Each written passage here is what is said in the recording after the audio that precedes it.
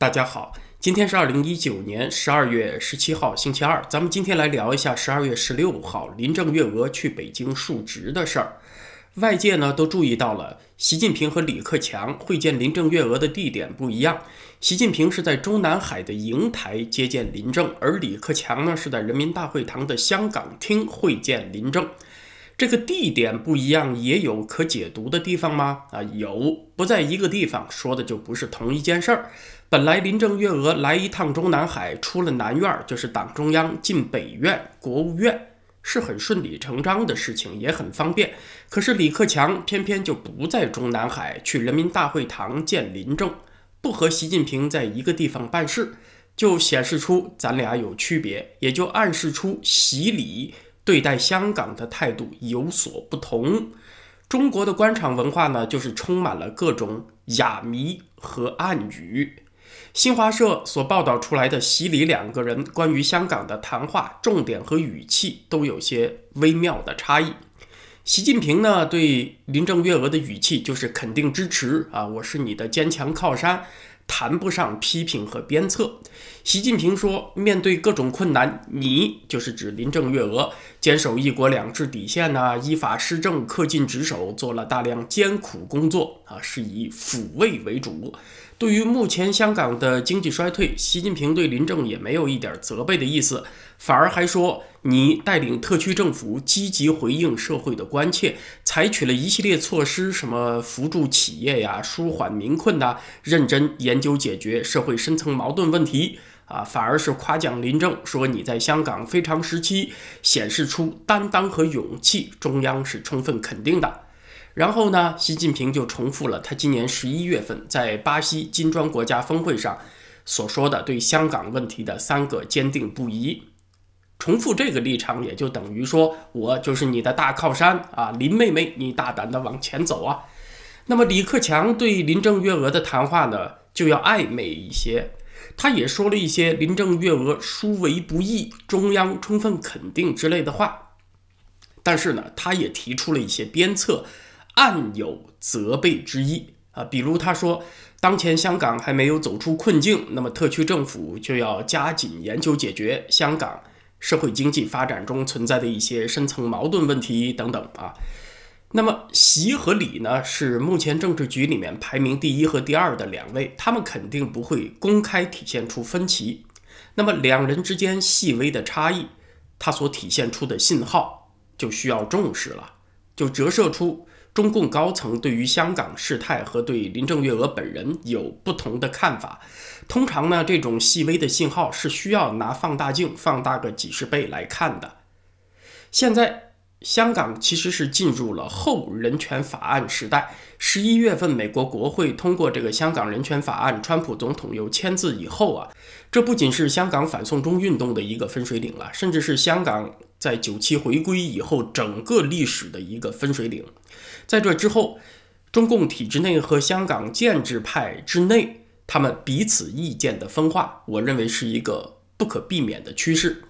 在十二月初，香港作家陶杰透露，有一个具备红色背景的富商去美国，结果在机场就被人堵住了。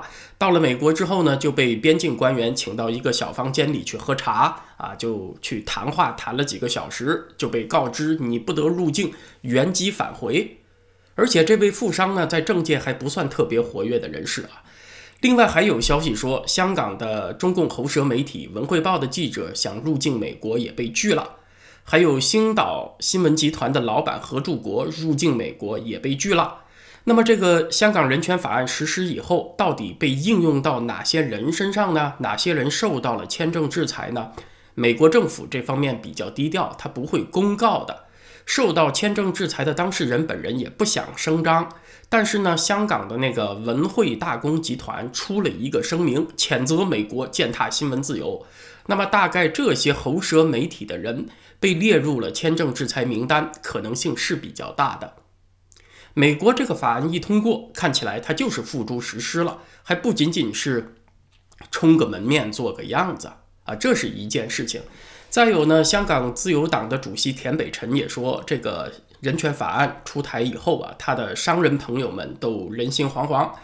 就连他自己也不敢去美国了，害怕因为自己这个全国人大代表的身份受到制裁啊！你看现在港商全国人大代表过去是红顶加身，对吧？现在成了一个负资产了，害怕受到签证制裁，再加上这个冻结财产的处罚呀，这一系列措施足以让这些有着深厚国际利益背景的港商们、金融界人士们主动和林郑月娥和中共的强硬派。拉开距离了。再有呢，十一月份香港的区议会选举，建制派的大失败，也是沉重的一击。它不可避免的会有政治后果，会造成香港建制派和林郑月娥之间的裂痕扩大。有一些有意思的现象已经发生了啊，比如十二月初由香港的民主派议员提出的弹劾林郑月娥的那个动议案，虽然在香港立法会被建制派给否决了。但是呢，这个建制派的最大党民建联的主席李慧琼，在否决弹劾案的同时呢，也批评了林郑月娥的施政。有意思的是，有着资深保皇党议员之称的那位蒋丽云立法会议员，居然也支持成立独立调查香港警察的委员会。他的理由呢是很奇葩，说这样会还警察们清白。啊，估计在香港警察听起来那简直就是高级黑呀。那为什么会出现这种现象呢？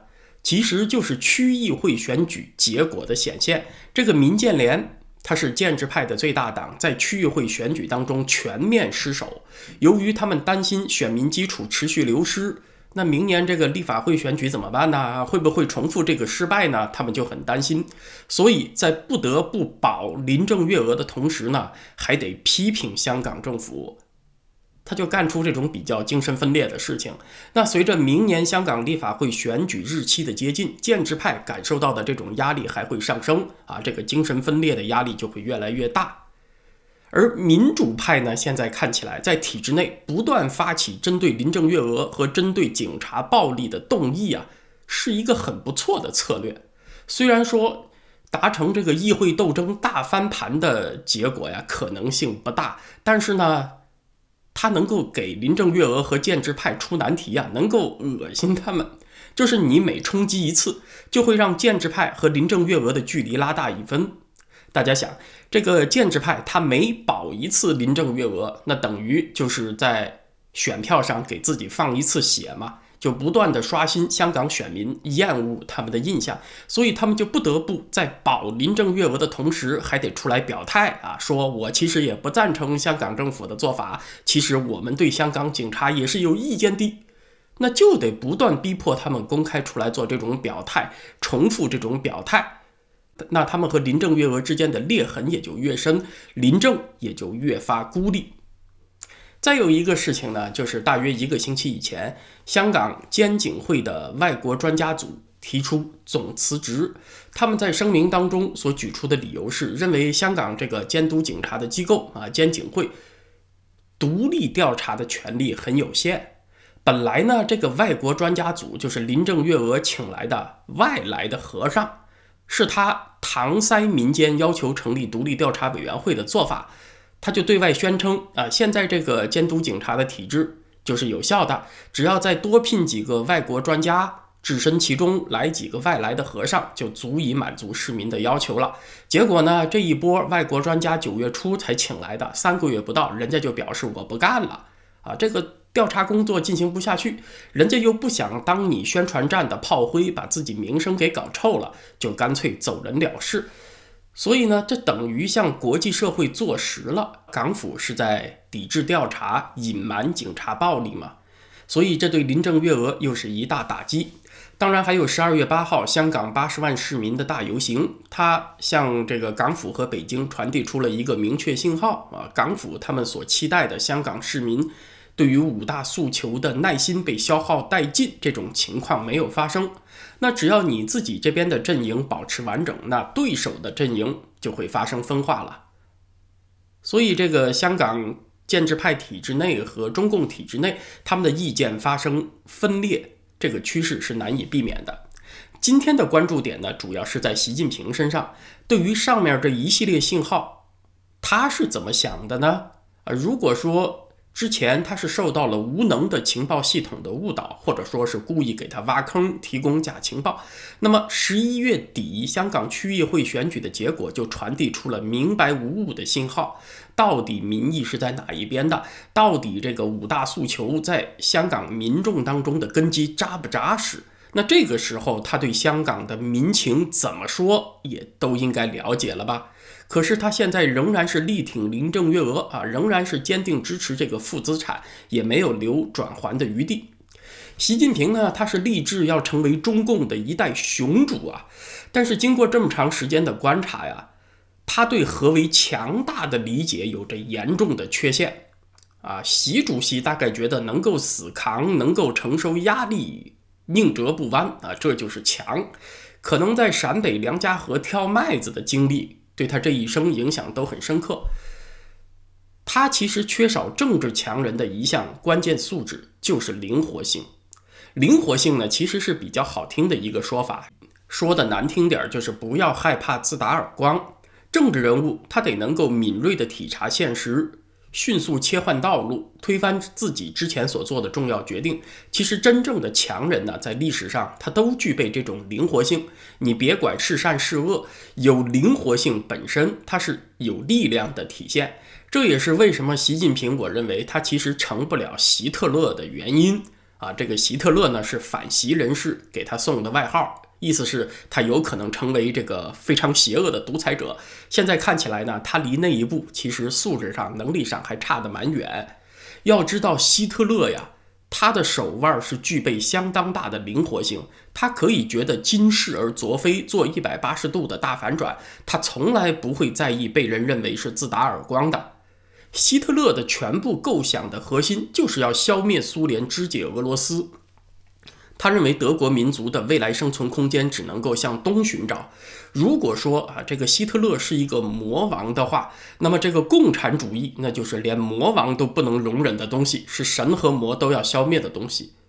这个轴心国集团它的前身就是一九三六年的反共产国际协定啊啊，轴心国它的诞生就是一个反共组织，从纳粹党。产生之初起，他就和布尔什维克不共戴天。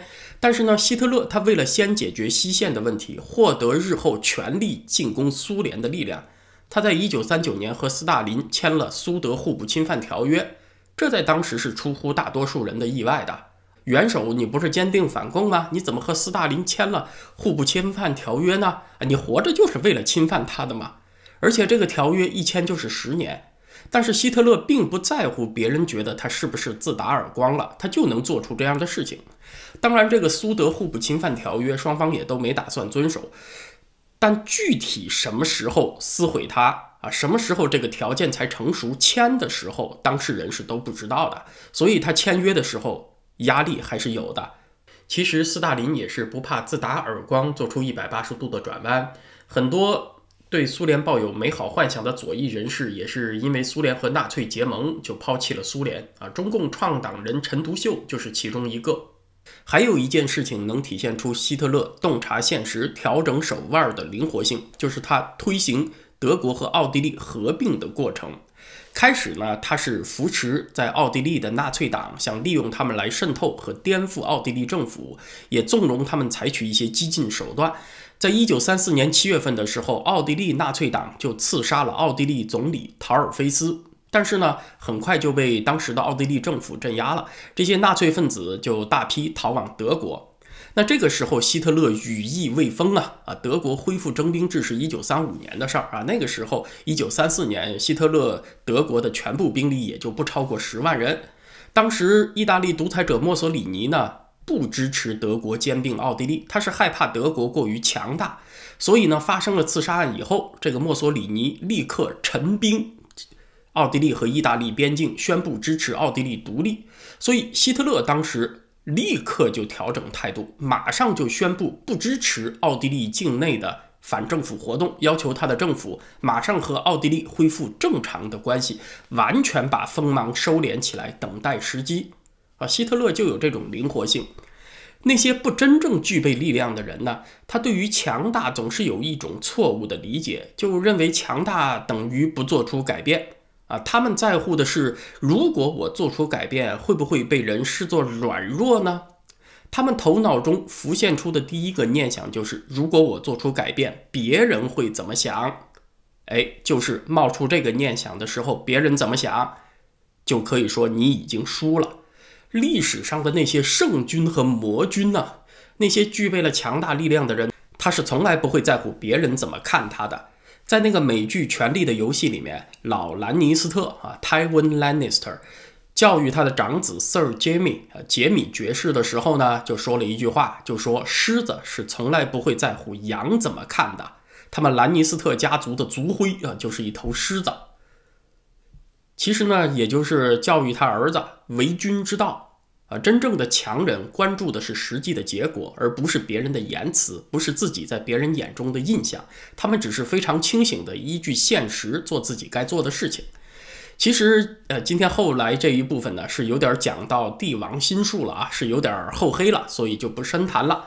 咱们总结今天的话题：习主席是很难成为希特勒的啊，他其实也很难成为像蒋经国这样的强人，因为。从他这一系列表现看呢，他缺少真正强者所应该具备的灵活性，也缺少对现实的洞察能力。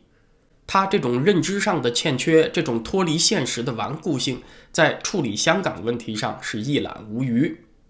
今天最后介绍一下，我一月份去台湾啊，本意呢是去看一看台湾的选举，但是现在看起来，二零二零年的中华民国总统选举的悬念啊，未必有那么大啊。其实这也是拜中共在香港问题上的顽固所赐。那些和中共走得比较近的政党和候选人，他肯定就不会受到选民的青睐。预计呢，我过年之前就会回到多伦多，在台湾期间呢，我会尽力。找时间做节目，但是还是想放松一下，所以呢也就不保证什么了。